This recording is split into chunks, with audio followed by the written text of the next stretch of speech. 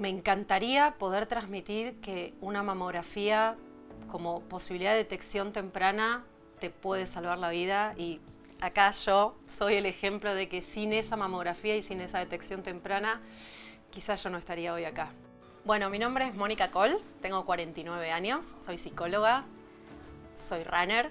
En plena pandemia yo me saqué turnos para hacer controles y eso me salvó la vida. Eh, una mamografía permite ver imágenes anticipadamente a lo que puede llegar a venir, que en realidad fue mi caso. Eh, la mamografía vio una imagen que ni siquiera se había convertido en un cáncer palpable. Mi entrenador me dijo, la carrera es tuya, vos andá a la largada y empecé a correr.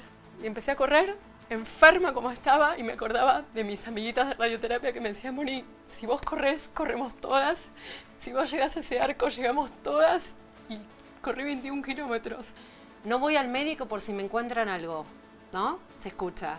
No, no, anda al médico por si te encuentran algo, vas a estar a tiempo de todo. Sigo trabajando y sigo brillando y sigo entrenando y hay mucho más por venir porque sé que lo mejor está por venir hay mucho más.